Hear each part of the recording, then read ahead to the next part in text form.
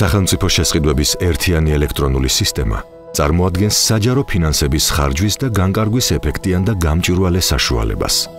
სახელმწიფო შესყიდვების გზით სახელმწიფო ორგანიზაციები, სამინისტროები, მუნიციპალიტეტები და სხვა საჯარო უწყებები მცირე, საშუალო და მსხვილი მეწარმეებისგან შეისყიდიან კანონით მინიჭებული ფუნქციების განხორციელებისთვის საჭირო პროდუქციას, სამშენებლო სამუშაოებს და მომსახურებას.